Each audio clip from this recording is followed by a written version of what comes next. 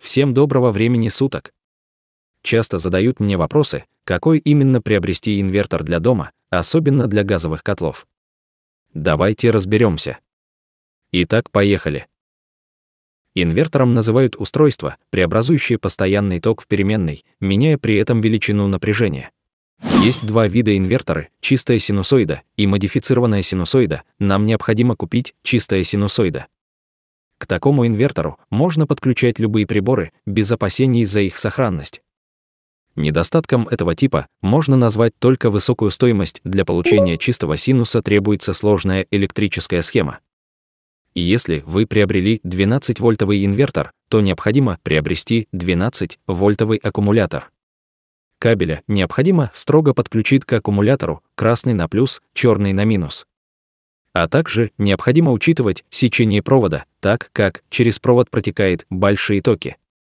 Газовый котел потребляет мощность от 100 до 200 Вт, в среднем 150 Вт.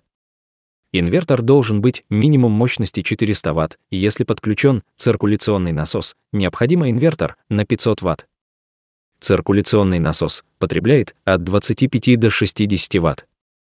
А теперь рассмотрим, насколько хватит аккумулятор, если аккумулятор 100 ампер, а потребляет общий 260 Вт. Ток нагрузки будет 18 ампер 840 мА, аккумулятор хватит на 4 часов, а если в среднем 140 Вт, то на 7 часов. Если подключит масляный обогреватель мощности 2500 Вт, инвертор уйдет в защиту, задается вопрос, почему? Да потому что в аккумуляторе в полной зарядке 1400 Вт, и если даже найдете ток разряда, пусковой 900 ампер, как мы знаем, пусковой ток это на несколько секунд. В таком случае необходимо параллельно подключить несколько аккумуляторов.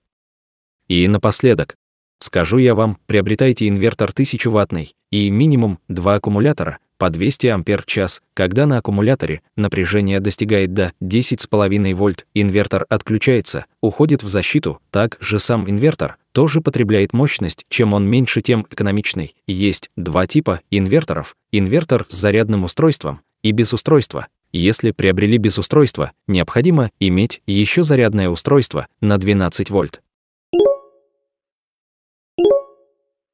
Надеюсь, информация была полезна. Не забудьте оценить и поставить лайк.